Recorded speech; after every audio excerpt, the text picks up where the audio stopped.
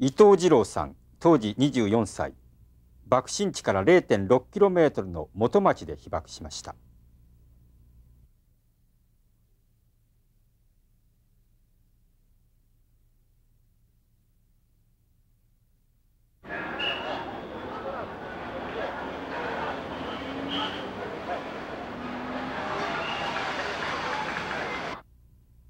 伊藤さんは当時歩兵第11連隊6中隊にいました。部隊は全滅状態となり伊藤さんは火の海から逃れるので精一杯でした。その時助けきれなかった仲間の叫び声が今も耳に残っているといいます。被爆当日この歩兵第11連隊におりましてでこの現在位置がここになりまして3中隊ですね。私は6中隊におりました、えー、この6中隊で、えー、被爆いたしましたからこのちょっと先になりますですね。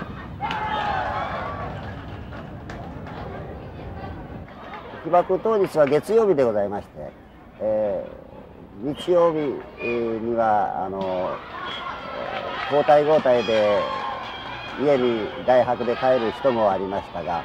まあ、その人は幸いに助かっておった助かったわけですが私はもうあのずっと日曜日の晩から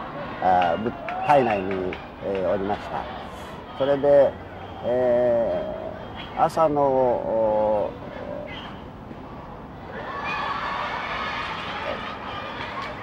7時半頃だと思いますけど、それまでは空襲警報が発令されていたんですが、えそれが解除になって、え30分余り8時6分ですか、えいわゆるピカドンということを一般に言われておりますが、え私はあの2階の事務室に、え勤務していたんですけど、まあ、当時夏の真夏のことで、えー、窓も全部窓ガラスも開けておりましてまずそのピカピカというのは火柱がさっとこう部屋を横断したという感じでした。それからと同時にドンというのは大きな爆弾を落としたなという感じでいわゆるピカドンというあの表現は当たっておるんじゃないかと思います。それで、えー、そのドンと同時に、えー、エレベーターでさっと下がったというような感じで、えー、いわゆるその建物の下敷きになったわけですまあその瞬間意識をちょっと失った数分間があったと思います。それで、えー、やっと気が付いた時にはもう下敷きになっておるんで、えー、やはりその光線を頼りに光を頼りにこう上に屋根の上に出たわけです。それで、えー、まあ一応脱出したわけですがまあ、当時中心地でもう建物はもうこういう倒れ方でなしに上から下へさっとあの倒れたような格好で、えー、まあ一応その弊社の通路の方に、えー、退避したわけですが何分その弊社内にいた、当時二十歳代のものばかりですからそのいわゆるうめき声というのはもう今でも脳裏にを離れないわけです。それで、えー、まあ私が出た時もう一人やはり出てきたのがおりまして、まあ、その人と、まあ、2人でこうあの避難するべく、まあ、無意識にえー、この体内の端の方にあの演習場がありますんで、まあ、広っ端ですね要するに。その方に向かいかけたわけですが何といってもそのうめき声が助けてくれという鳴き声ですね。それを後にして逃げるわけにいかないと。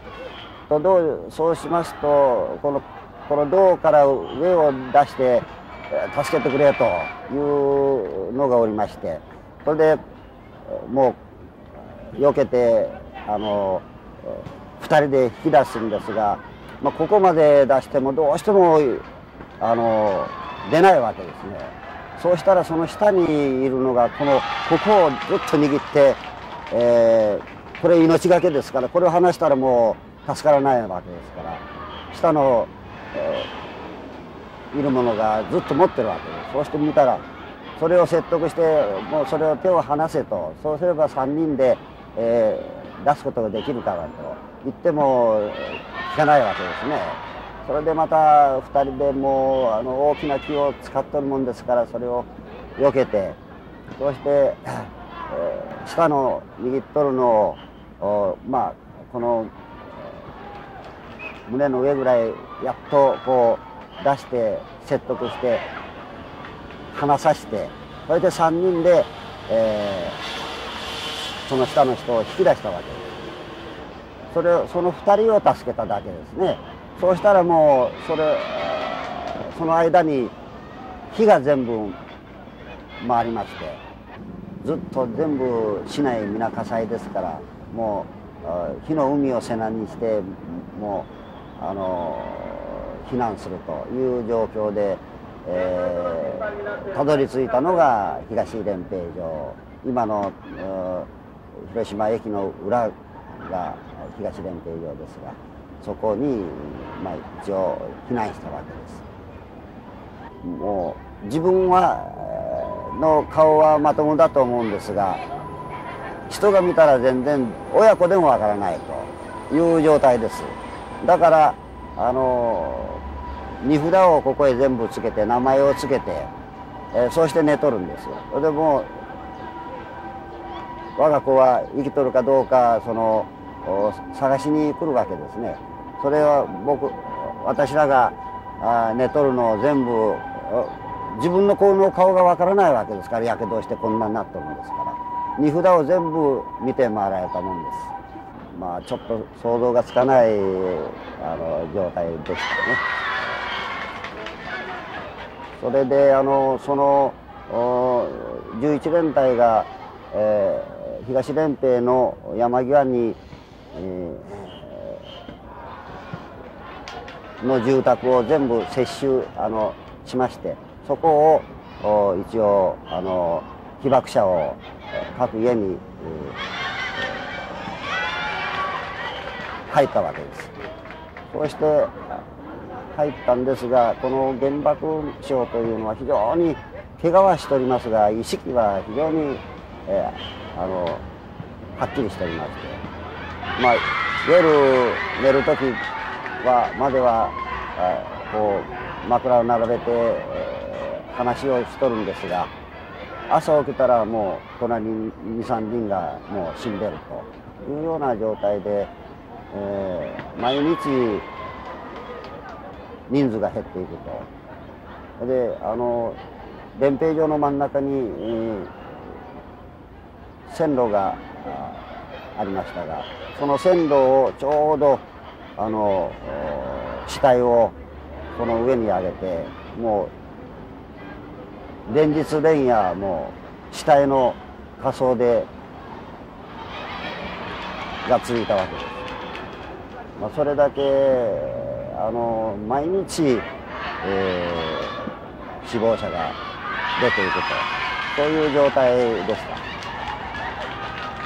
東連平場に、えー、8月の13日まであちこで一応設営しましてそれから8月13日に大野の陸軍病院へ、えー、入院して8月15日終戦の直後を大野の陸軍病院で聞き聞いたわけです。そうして、えー、一応、まあ、終戦ということで、えー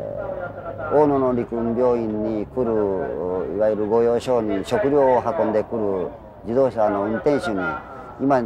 11連隊はどこにいるかと言ったら今安古市の奥にいると。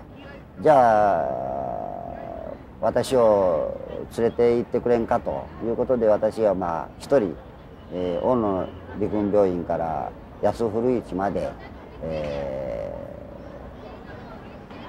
ー、帰ったわけです。そして安古市に帰ったあ時に、えー、もちろん歩兵第11連隊の連隊長は、死亡しておりますしそれで、えー、私の同級生が、えー、当時中尉だったですがそれがあの一番高官で連連隊長代理というようなことで、えー、やっとったもんですから。まああの安売市に帰っても同僚が毎日のようにバタバタ死んでいくもんですから、まあ、これではまあ同じ死ぬるんならあ自分の家で死にたいという気持ちで当時あの軍隊には記号療養自分の家に帰って療養するというこれはあの規定があったわけです。で記号療養を僕の同級生の中尉連隊長に、えー、させてくれんかと言ったらあそれじゃあ明日からあの記号療養し、えー、認めてやるということでなったんですがそれは私一人ではその私は納得できないということでもうそこに設定しとる全員を返してもらいたいということを頼みましてそうしてその3日後にそれじゃあ全全員を返すようにするということで全員が、まあ、全員といっても560人だったと 100, 100, 人もいなかったんじゃないかと思いますけどそれがあの全部帰ったと、それが8月の28日ですね。8月の28日に、えー、自分の自宅に帰ったような状態です。家族はまああのおかげで家の中にいたもんですからまあそれはあのガラスの破片が飛んで切り傷はあ受けましたがまあ一応助かったわけですそれであの私が家に寝ておるんですがちょうど僕の家の前に水道がもう当時あの出なくなって僕の家の前に水がこう出るとこ近所の人が皆水を汲みに来るんですがお宅の坊ちゃんはまだ生きとられますかというのが僕の耳に、入ってもう僕が死ぬのを待つような近所の人が話をする。でまあそれは非常に感じが悪かったですけど私まああの被爆者の症状は全部あの、えー、経験しました、えー、まず頭頭の毛はこれ一度全部剥げてこれ2回目のハゲになっておりますが剥げてまた生えましてですね。それから2回目のこうハゲですが頭は全部剥ぎました。それからもうあのその後、えー、皮膚がんの手術もしました。これはあの足をここですが足を打ってそれがあのイボのようになっておりましたがそれがあの10年ぐらい前にがんになりましてでそれを手術しました、えー、その他その歯の茎からハブからですねこう血が出ましてですね歯ももう総入れ歯のような状態です、えー、それでまあ私がなぜ助かったかというのはやはりあの治療をしました。治療をするというのが当時まああの薬が注射を随分しましたけど、えー、何が効くのかどういう薬が効くのかということがあの分からない医学的に分からない時で、えー、ビタミンの BC、えー、K、えー、それからカルシウムザルブロとかそういったもうあらゆる、まあ、リンゲルはもちろんですがあそれを毎日、えー、欠かさず約1ヶ月治療しました。それであの輸血をすればいいというようなことがございましてこの当時、えー、自家輸血と自分の血を取ってそしてこの筋肉に注射する。自分の血を輸血するという方法もこれも随分やりました。そういう、まあ、治療をして結果あの当時こう石炭箱いうのに注射のアンプルを壊したものを2杯分あの注射をしました、まあ、そういう治療がしたために、まあ、生き残ったんじゃないかというふうに思っております。それからガラスの破片なんかは、まあ、ここから手術して出したとかいうような外観的にはあるわけです。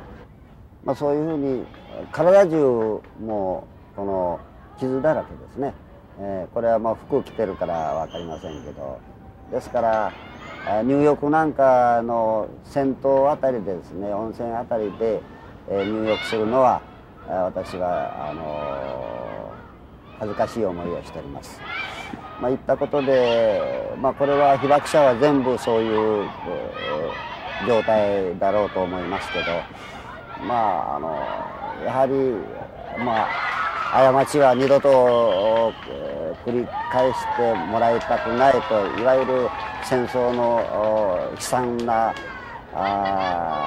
経験をしたもんでないとわからんと要するに戦争はもう一切、えー、しない、えー、平和な国づくりを期待しております。まああの先ほどもお話ししましたがあのうめき声を苦しみをの声を後にして、えー、世を助けずに、えー、逃げたということも、まあ、私が一番心残りと知るところですね。